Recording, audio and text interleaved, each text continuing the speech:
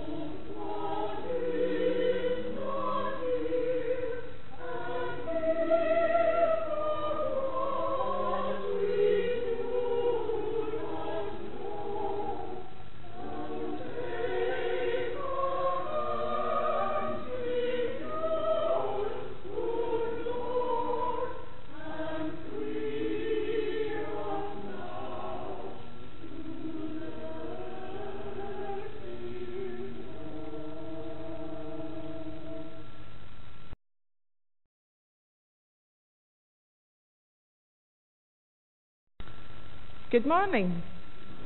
And a very warm welcome to all of you who have gathered here. It's great to have you join with me this morning as we gather to worship God. And I do hope you've had a blessed week so far. And it's good for those who will join us later on on our online worship service today. Um, and I thank you for joining with us again. So, as we begin our worship this morning, remember this is a place of grace, not perfection, and everyone is welcome. So, as we begin our worship this morning, let us still our hearts and minds and let us come to God in prayer. Let us pray. Living God, as we prepare ourselves for worship, let us be open to your presence and experience the wonder and awe of your glory as we sing your praises, as we read and listen to God's word, may we glimpse at the greatness of it all.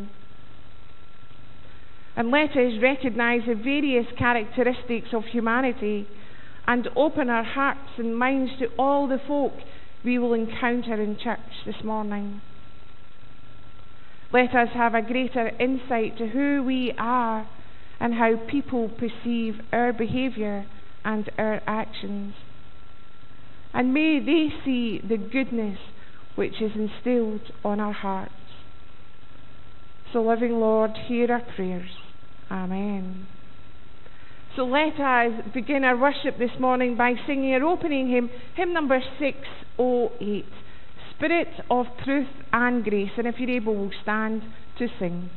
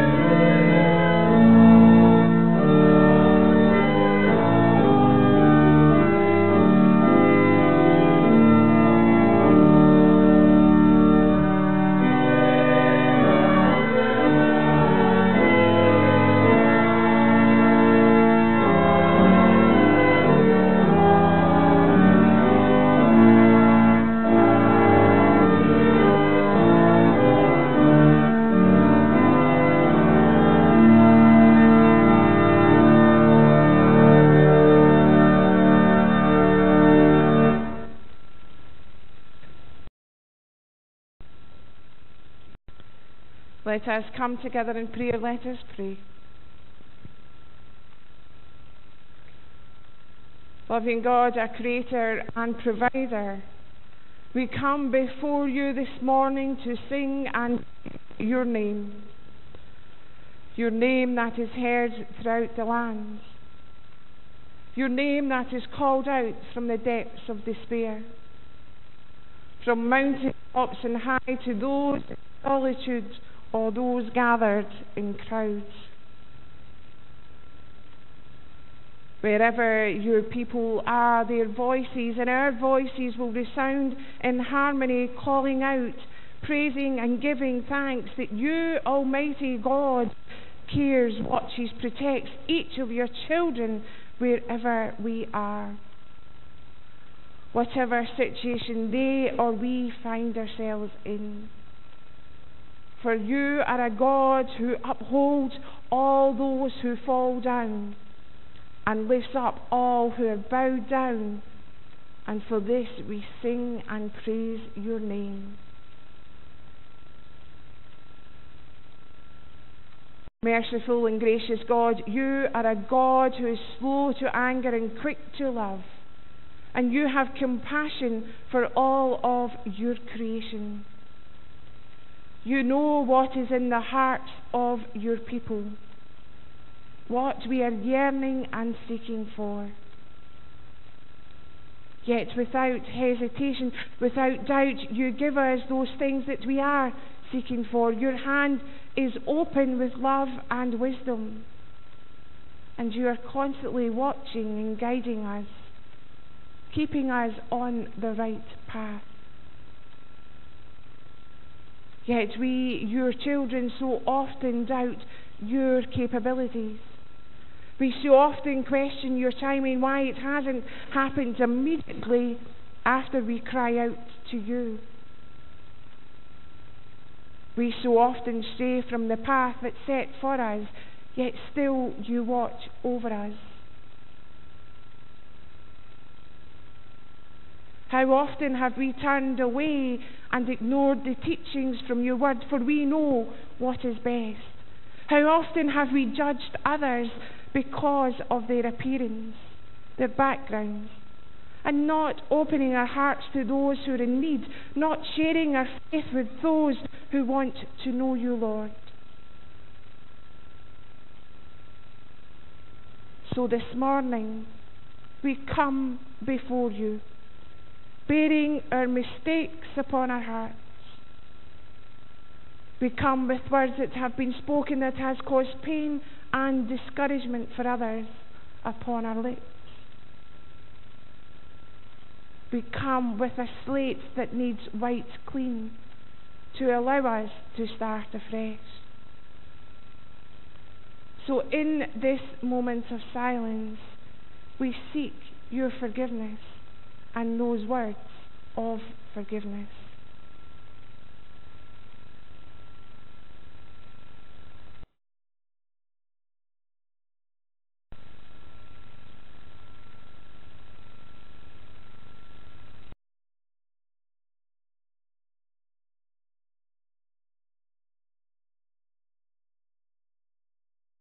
Jesus says to those who seek genuine forgiveness, your sins are forgiven.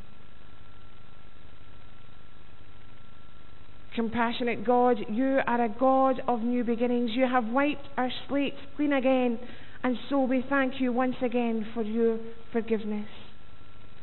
And as we face this new week ahead, meet with us, be with us, and help us to live each day in the light of your presence.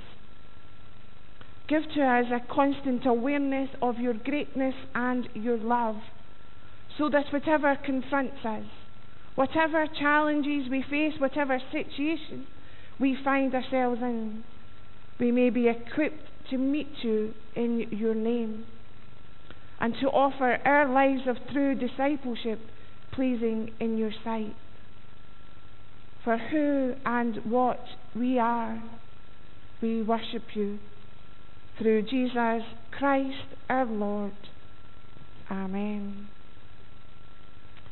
Let us sing hymn number 710 I Have a Dream a Man Once Said.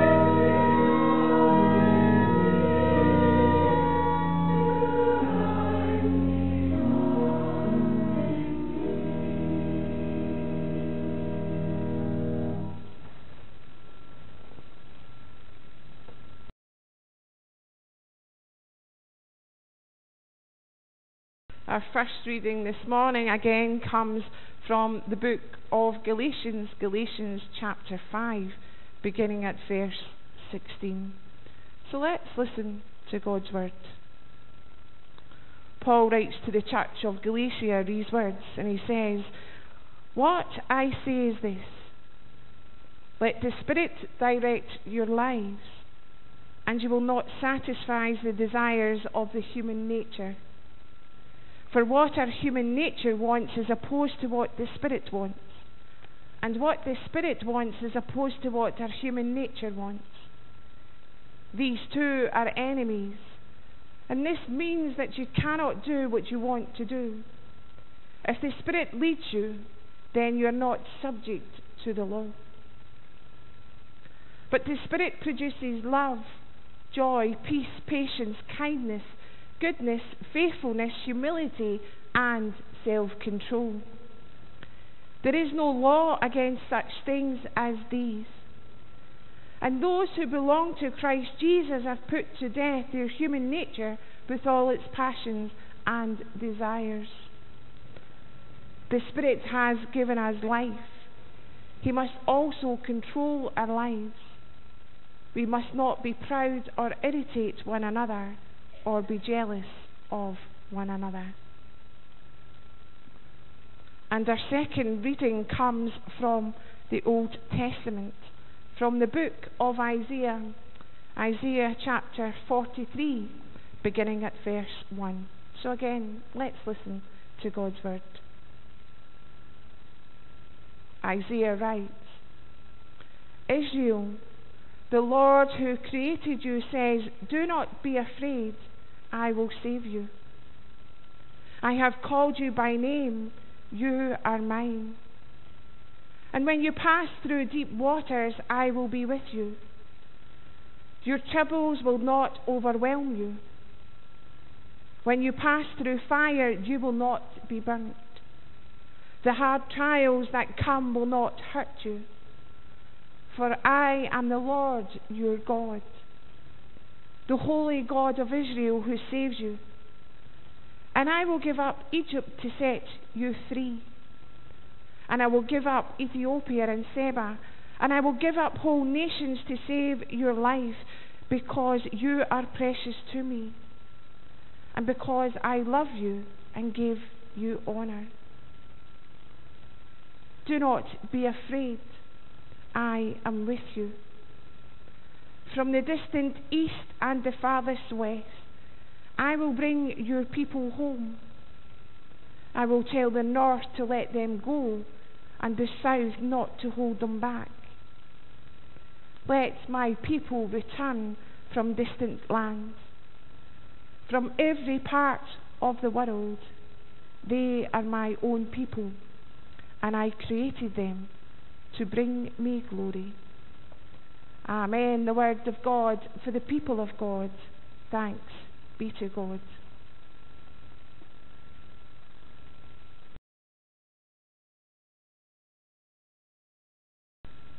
We're going to pray again, and during our prayer of intercession, as again Christine is going to play for us during our moment of silence.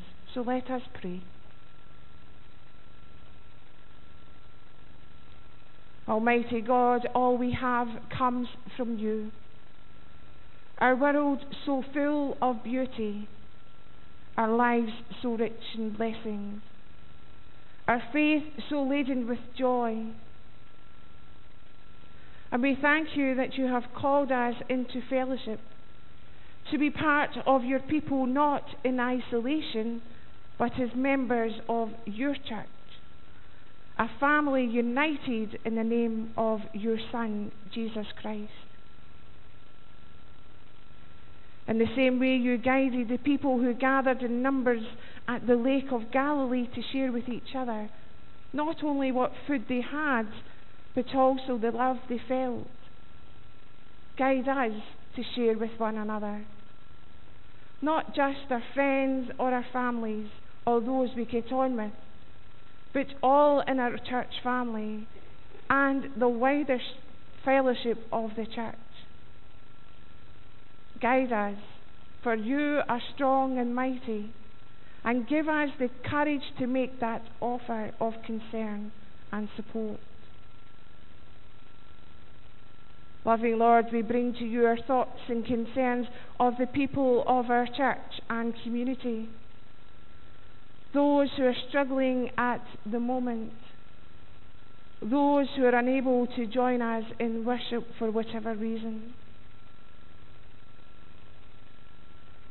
We think of those known to us facing difficult times, battling with illness, wrestling with depression, anxious about the future, grieving for loved ones and those who feel the darkness of despair surrounding them. Yet are longing for that flicker of light that will burst the cloud of darkness. That light of hope that will make some sense out of their confusion.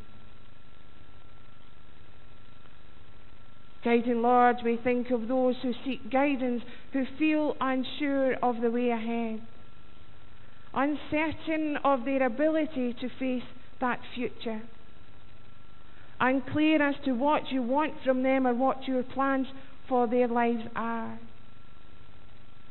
Guide all those who ask you to lead the way forward yet still have no clear sense of their particular calling. Guide each of us to walk alongside them as they take those faltering steps. Let them share their fears and worries with us as we walk together. So, loving God, in this moment of silence, hear the names of the people that we are concerned for etched upon our hearts.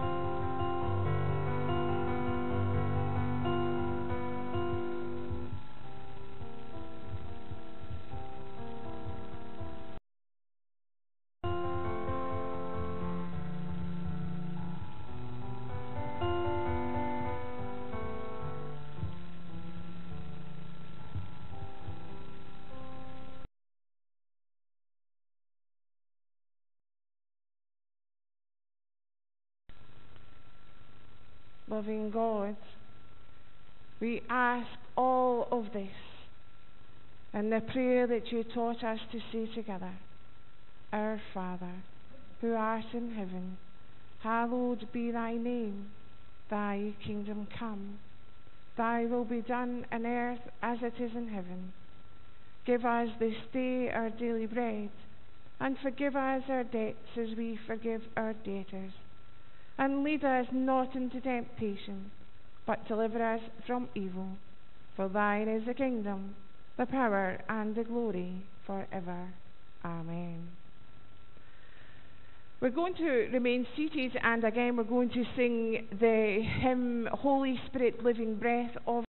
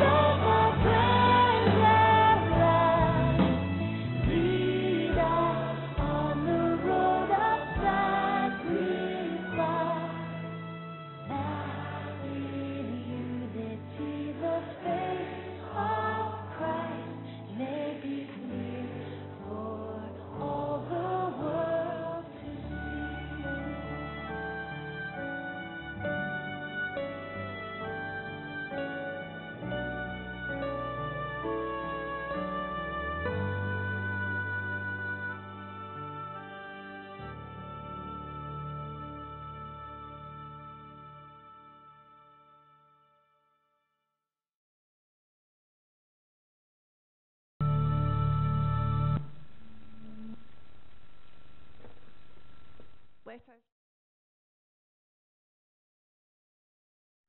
May the words of my mouth and the meditation of my heart be pleasing in your sight, for you are our strength and our Redeemer.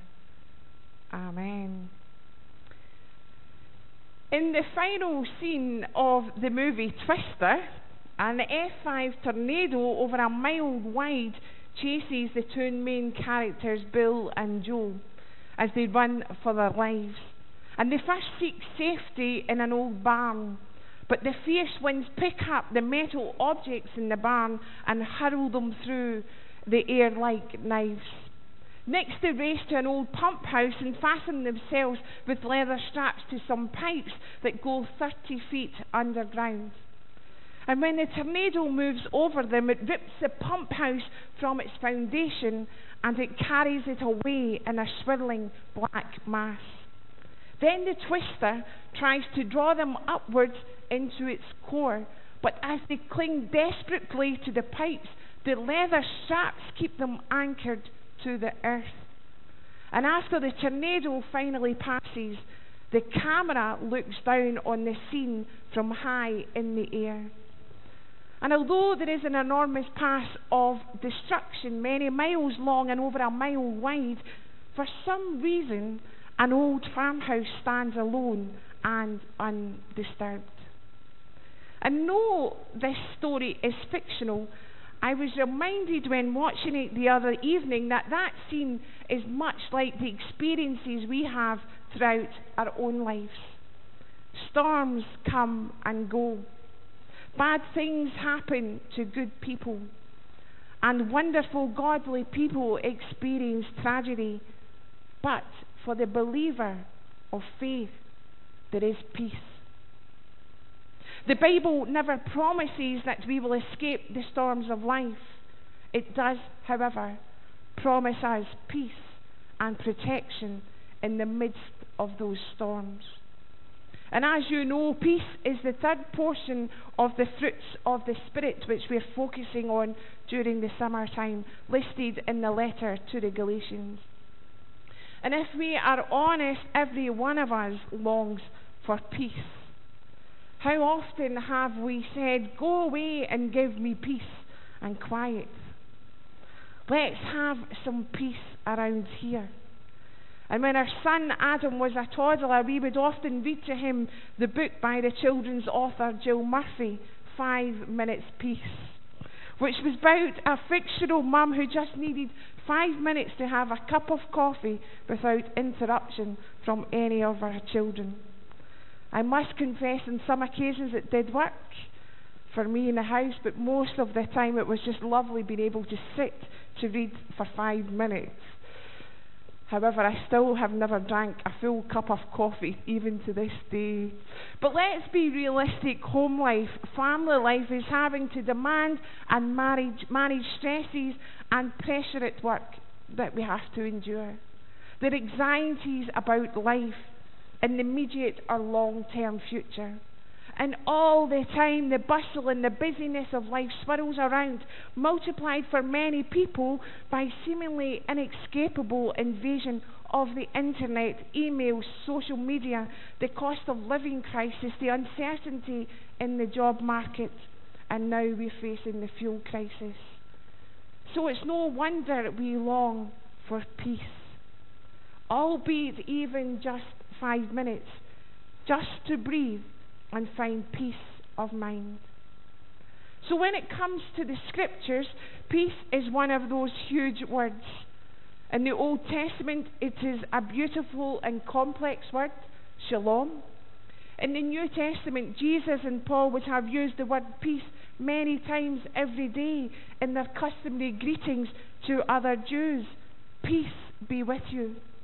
And Jesus also promised his disciples, Peace I leave with you, my peace I give to you. And that sense of peace that Jesus is offering means more than living a life with no conflict or being quiet, still, and at rest. It is your calmness that a nation, a city, a community enjoys when it has a caring, competent, and secure leaders. The great theologian William Barclay writes that in biblical times, villages had an official who was called the superintendent of the village, the keeper of public peace. Probably even within our own families, there will be someone who always tries to keep the peace, no matter what is happening. And I must confess, I do not like confrontation. I don't like conflict or people constantly at each other's throat. I don't like picking sides either. It is not who I am. I would rather walk away, find a compromise rather than face the situation. But don't get me wrong, I am not a pushover. I will stand firm if and when I have to. But my default position that I prefer is keeping the peace. Finding ways to work situations out, which I know in ministry may be seen by others as a weak attribute, but hey ho, God knows me and here I am. But let's also remember that just because we call ourselves Christians means that life will not will be automatically filled with roses. It doesn't. Sometimes it feels even harder. Remember that while in prison, Paul wrote the letter of, to the, the letter of Galatians. He wrote, I have learned to be content whatever the circumstances. He also goes on to write to the people of Philippi, the peace of God which transcends all understanding will guard your hearts and minds in Christ Jesus. And in the book of Isaiah, we see that the people of Israel have sinned greatly by following other gods and by seeking alliances with other powers instead of resting quietly on God. And this is why the people found themselves in exile in Babylon. So, in the beginning of chapter 43, Isaiah writing, he says, But now the time of the exile was almost over, and God was ready to bring his people to safety and security. Isaiah, in his book, reveals to those in exile that the love and care of the one whose spirit lives in us continues and never falters. Peace in the storms of life is God's gift to his people. Peace is God's promise. When love, justice, truth, and peace have a group hug and heaven and earth are in harmony. Peace, as Paul describes it, is a serious business. It is not just a happy, nice feeling. It is at the heart of the gospel of Jesus Christ and the glory of God. It is the heart of who we are as Christians. So when we fight and condemn one another, denounce other Christians and divide from them, fostering all kinds of divisions within the church, then we do not have the mind of Christ. We make a mockery of singing with one voice in our worship and deprive God of his glory. So, as we journey to continue in faith, as we learn to depend on the Holy Spirit and understand that God will be with us in every situation, we will be more at rest and anxiety will be further away. However, we must not find a way to, to we must find a way, sorry, to not allow life's circumstances to take away our peace as people of faith, we must be determined to cling to the promises of God so that our hearts and minds are guarded from worry. As one writer wrote, with time, with maturity, and a growing trust in God, we can learn to be content with whatever the situations and circumstances we face. So, my friends, my brothers and sisters in Christ, whatever life brings you, whatever storms rage around you, whatever you may be feeling, whatever situation you are facing, remember that the peace that Paul speaks of as one of the fruits of the Spirit is the peace that Jesus offers each one of us. It is a reminder to each one of us that we are not alone, that we can rest in the knowledge that God dearly loves us and will take care of us. And it is through our relationship with God that we may have peace. So may God's peace be a source of comfort to each and every one of you this week and for the coming weeks ahead. In the name of the Father, and of the Son, and of the Holy Spirit, one true God, now and forevermore. Amen. We're now going to make our offering, and as the offering is brought forward, we'll remain seated and we'll sing Praise God, from whom all blessings flow.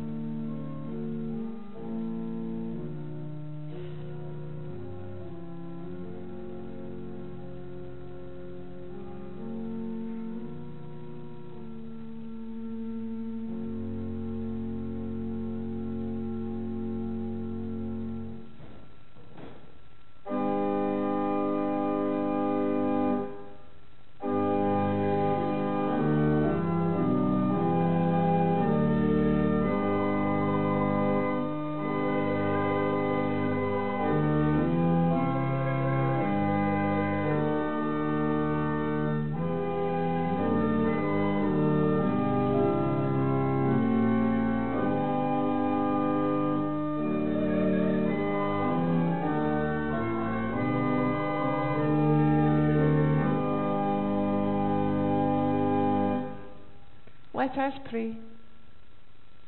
Living God, you are the author of life, the sustainer of hope, and the teacher of truth. You are the giver of love to a broken world. Throughout the ages, you have journeyed with your people, revealing yourself through stories and mystery. You have provided for their needs in desolate places. You have been their guide day and night. And as we gather for worship today, we celebrate your love for us and our love for each other. We praise you because you hear the cries of your people. We praise you for your Son, Jesus Christ. And we praise you for you bringing light into darkness, good out of evil, and that you transform our lives by the power of your mercy and compassion. So, God of hope, we recognize that you provide all that we need. So, in heartfelt response to your calling, accept our offerings.